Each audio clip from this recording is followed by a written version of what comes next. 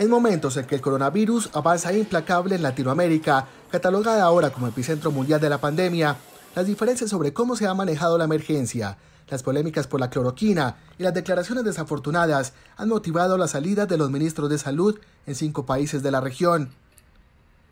Brasil, el segundo país del mundo con más casos y muertes de coronavirus, perdió dos ministros de salud en menos de un mes debido a las diferencias con el presidente Jair Bolsonaro, uno de los líderes más escépticos sobre la gravedad del virus.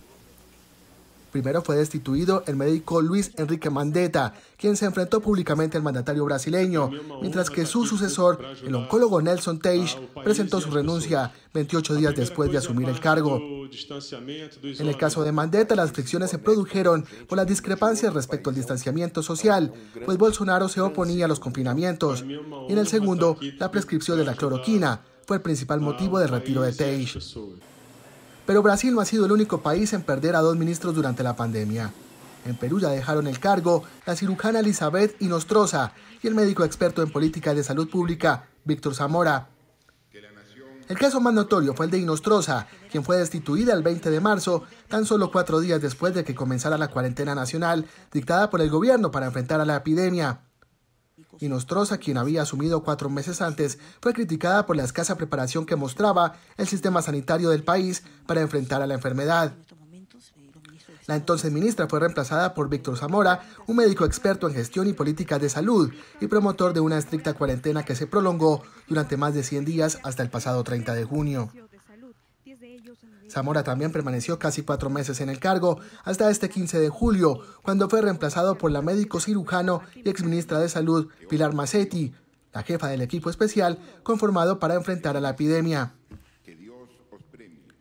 ¿Qué pasa si el virus muta y se pone, perdón que use una palabra, buena persona? Es otro escenario. Chile también se quedó sin ministro de Salud el pasado 13 de junio, cuando el presidente Sebastián Piñera solicitó la renuncia del nefrólogo Jaime Mañalich, quien acumulaba ya varios cuestionamientos por su gestión de la pandemia de coronavirus y sus polémicas declaraciones. El cese de la ministra Rosario Turner el pasado 25 de junio supuso una sorpresa. Si bien los contagios se dispararon por encima de lo previsto y eran conocidos sus desencuentros con el vicepresidente y ministro de la presidencia, Gabriel Carrizo. Turner formó en marzo el equipo Panamá, que además de diseñar una estrategia sanitaria, se presentaba diariamente ante la opinión pública en ruedas de prensa retransmitidas por televisión. Sin embargo, el equipo Panamá dosificó hasta suspender sus comparecencias ante la opinión pública, coincidiendo con varias denuncias sobre compras supuestamente irregulares de equipos médicos. Turner asumió como ministra de Salud tanto la aplicación de una de las cuarentenas con restricciones más duras en el mundo, incluida la ley seca, como el plan progresivo de reactivación de la economía y regresó a la vida normal, el cual provocó un aumento de los casos de contagios. La pandemia del coronavirus y el agravamiento de la situación en Guayas, cuya capital es Guayaquil, especialmente azotada en el principio de la crisis, se llevó por delante en Ecuador a la ministra de Salud, Catalina Andramuño, una cirujana y especialista en administración de sistemas sanitarios.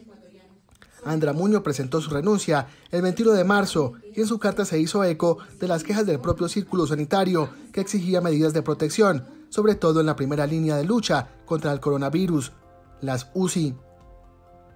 El presidente Moreno designó a su reemplazo al cardiólogo e epidemiólogo Juan Carlos Ceballos, decano de la Facultad de Medicina de la Universidad de las Américas.